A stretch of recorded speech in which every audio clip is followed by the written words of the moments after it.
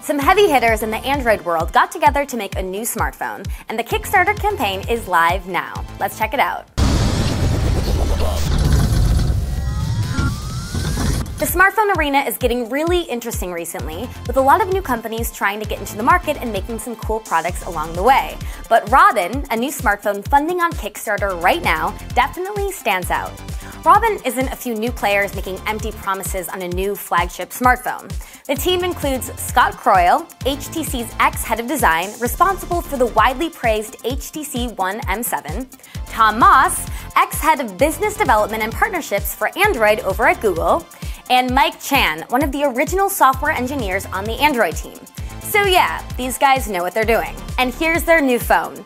Robin bucks the curvaceous mobile phone trend and delivers a very square case, and the design is packed with references to Dieter Rams' iconic designs with Braun. But the main selling point of the phone is that it offers 100 gigabytes of cloud storage for free, in addition to the 32 gigabytes of onboard storage. And the phone intelligently manages the cloud storage. When you're on Wi-Fi, the phone will securely upload apps, files, and pictures that you haven't accessed in a long time, and then remove them from local storage, freeing you up to take pictures and download as many apps as you want while never having to worry about deleting anything to free up space.